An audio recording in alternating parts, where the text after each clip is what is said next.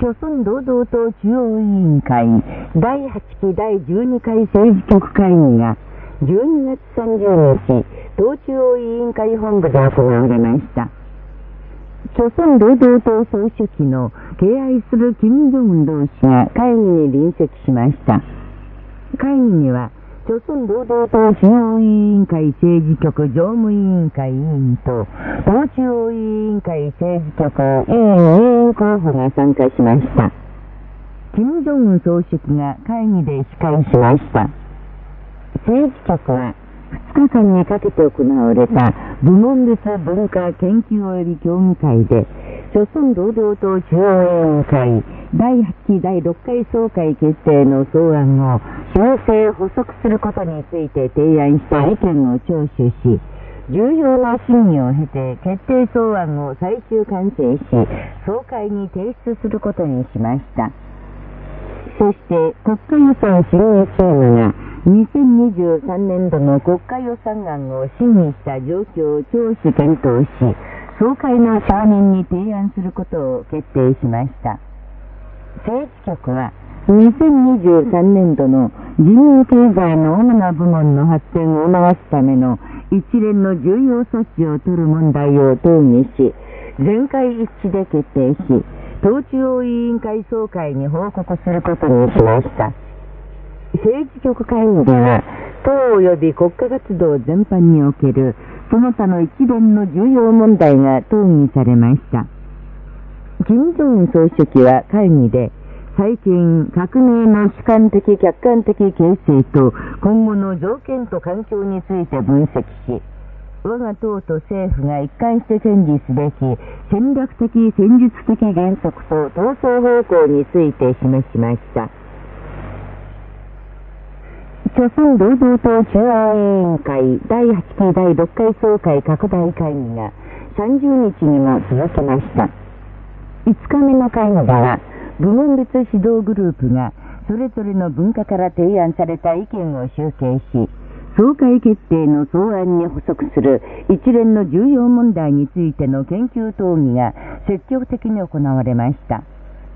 部門別文化研究及び協議会で修正作成された決定の草案が、党中央委員会政治局の審議に提出されました。総会は続きます。712年、2023年の新年を迎えて、敬愛する金正恩総書記に、ロシア平和統一党委員長から贈り物が贈られました。贈り物を、サジウ・マラトーバ委員長が、ロシア駐在、朝鮮特命全権大使に手渡しました。一方、金正恩総書記の朝鮮民主主義人民共和国武力最高司令官任命11周年と、712年、2023年の新年を祝って、中国の高達スイーツ国際貿易会社理事長から贈り物が贈られました。敬愛する金正恩総書記に各国から偉大な金正日国防委員長の成長11周年の伝聞と手紙が贈られました。送ったのは、ネパールマルクス・レーニン主義共産党中央委員会書記長、シリアラブ民主同盟党書記長、パレスチナ人民闘争戦線書記長、ドイツ共産党委員長、ロシア平和統一党委員長、イタリア平和党社会主義運動書記長、ナイジェリア国民進歩党全国委員長、南アフリカ共産党書記長、赤道ギニア民主党書記長、ドミニカ統一左翼運動書記長、メキシコ労働党全国コーディネーターなどの各国の政党党首とヨルダン共産党中央委員会です。また、スペイン共産党中央委員会国際担当書記、キム・イルソン・キム・ジョン基金理事会共同理事長、チュチェ思想国際研究所理事長など、中国とミャンマー、モンゴル、ノルウェー、フランスなど、各国の政財界、社会各界の高官と、チュチェ思想研究組織、諸村の統一支持及び友好団体、中朝国際機構の代表から伝聞と手紙が送られました。伝聞と手紙は、金正日国防委員長は、卓越した思想理論と老練な指導で、革命的建設を勝利一路へと導いた不正室の愛国者、稀な政治権道だと称えました。そして、敬愛する金正恩総書記の導きに従って、朝鮮人民が社会主義建設の全面的発展のための戦いで、さらなる成果を収めるものとの確信を表しました。一方、朝鮮労働党中央委員会に、カンボジア人民党中央委員会から伝聞が送られました。マンステの丘の偉大なキム・イルソン主席と偉大な金正恩国防委員長の銅像に、712年、2023年の新年に際して、国際武道基金理事会、北京調和国際文化交流中心、北京中朝幽連国際文化発展中心、在中国朝鮮人総連合会、中国担当市朝鮮族連合会、担当市朝鮮族総評会、担当市朝鮮族連合会の各分会と、中国の抗日革命闘争にゆかりのあるファン・ベクハさんの家族、中国朝鮮族企業家協会会長団の京村ジョン会長、担当市朝鮮族連合会シムチョンソン会長、信用市朝鮮族連議会のキルピョンカップ会長、遼寧省朝鮮族企業家協会のカン・ハクオン会長、遼寧省ソベクス文化電波会社のチェゴル社長、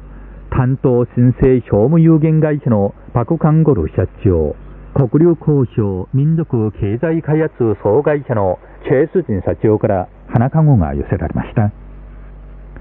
主席と国防委員長の銅像に12月30日、花籠が捧げられました。一方、この日、主席と国防委員長の銅像に担当広報商務会社の林品社長名義の花籠が捧げられました。敬愛する金正恩総書記が712年、2023年の正月を迎えて、平壌市に新設された幼稚園の音楽クラスに数十台のピアノを送りました。敬愛する金正恩総書記の朝鮮民主主義人民共和国武力最高司令官任命11周年を祝う青年学生の舞踏会が12月30日各地で行われました。海専門広場、平壌体育館広場など平壌の武道会場で青年学生は人民の喜び、親しい我が元帥などの歌のメロディーに合わせて踊りの輪を広げました。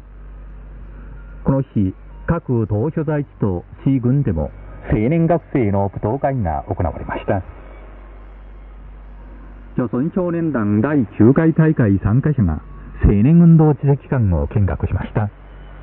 一度、抗日革命の炎の中で朝鮮少年運動の輝かしい伝統を築き、革命の名脈、愛国の代をしっかり引き継ぐ、少年革命家の大部隊をたくましく育てた、偉大なキム・イルソン主席と、偉大な金正日国防委員長、敬愛する金正恩元帥の不滅の業績を見せる物件資料に見入りました。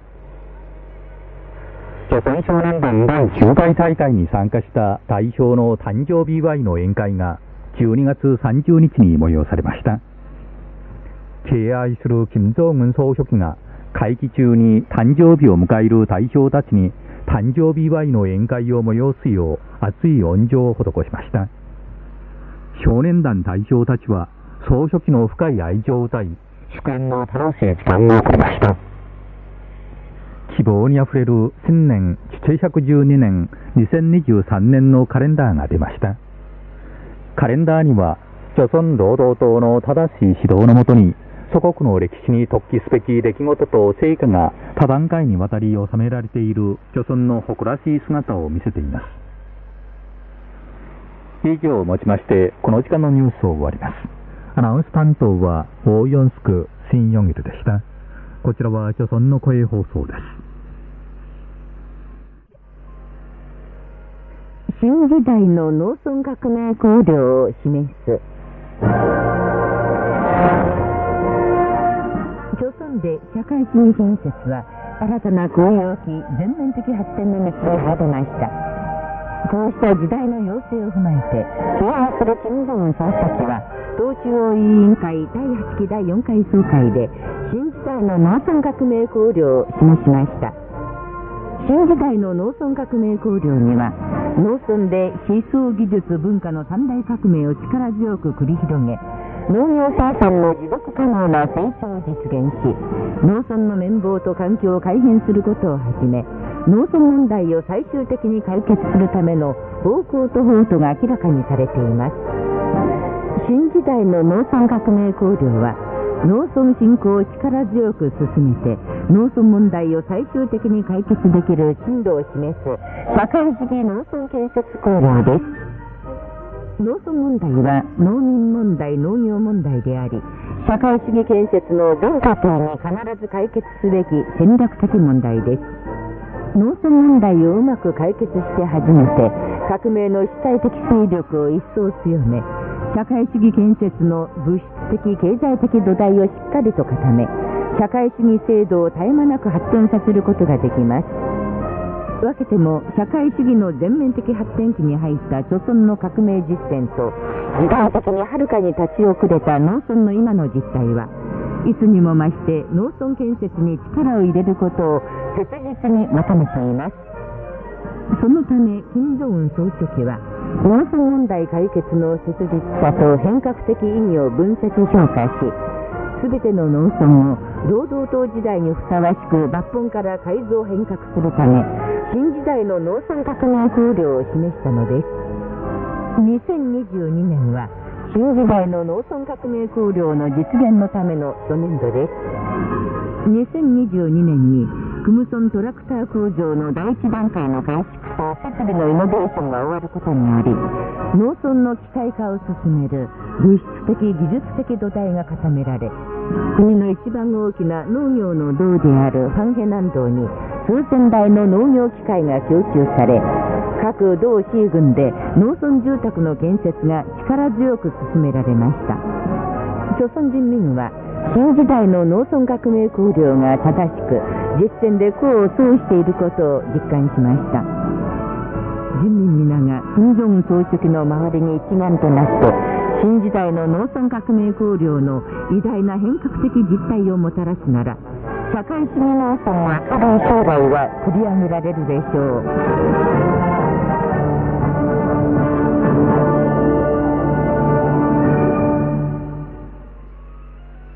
時代の農村革命行動を示す広大してお話ししましたバラ色の明日を信じる。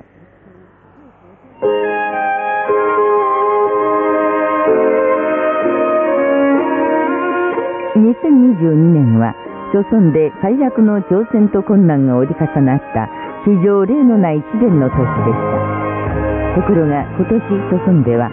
首都建設の新たな転機が開かれました。朝鮮労働党第8回大会が示した平壌市の5万世帯の住宅建設の初の実態であるトンワ通りが進行し、風光明媚なポトン川沿いにユニークな段々式の住宅エリアが完成し、ファーソン地区の1万世帯の住宅建設が終盤で進められています。平壌の東の関門に壮麗に建てられたソンファ通りは、56ヘクタールの敷地面積に延べ床面積が百数十万平方メートルの160棟余りのモダンでユニークな佇まいの超高層高層住宅と公共施設、サービス施設、公園、高架橋、飾り付けの構造物、人造の池と滝、憩いのスペースからなっています。うららかな4月に偉大なキム・イルソン主席の生誕日の太陽節を迎えて、大建築群を成したソンファ通りの竣工式が行われ、文明開化のニュータウンに住宅に不自由していた普通の勤労者が引っ越しました。ソンファ通りの美しい前景は、人民の福祉を一番の重大課題に、首都市民により文化的で安定した生活条件を提供するのを宿願の課題とする敬愛する金正恩総書記の絶対的で無条件的な人民に尽くす精神、偉大な人民愛がもたらした尊い結実です。孫新孫ファ地区の1万世帯の住宅建設は、例のない挑戦と難関の中、ジョミュン通りの建設を始める時と全く違う状況下で、しかもその何倍にもなる工事を短時日内にやり遂げなければならない膨大な工事でしたし。かし、金正恩総書記は、それが平壌市民の生活に直結し、党大会の決定を必ず実行するための少年の重大な政治的課題だったので、無条件に推進する誘弾を下し、建設のための実際的で革新的な措置を取りました。朝鮮人民に世界で一番立派な住宅をプレゼントしようとの金正恩総書記の崇高な意図により、都心のポトン川沿いにユニークな段々式住宅エリアが社会主義の繁華街に建てられました。キョンル道と呼ばれるこの繁華街の主人は国の発展に功労のある勤労者です。国の祭祀に敬われるアナウンサーと文筆家、科学者、俳優、そして火力発電所の作業班長、道路管理係、トロリバスの運転手、オリコ、糸繰り工など普通の労働者たちです。わずか1年の間に、貯村式の特色、建築の世界トレンドを立派に反映した真新しくて独特な住宅とニュータウンの建設で変貌を遂げた平壌の姿に朝鮮人民誰もが胸に刻みつける心理があります。それは人民を天のごとくみなす金正恩総書記がいて、また朝鮮労働党があって、いかなる試練が折り重なっても人民の夢と理想は必ず実現するということです。この心理が遠からず世界が目の当たりにするだろうファソン地区の移り変わりによって改めて証明されることでしょう。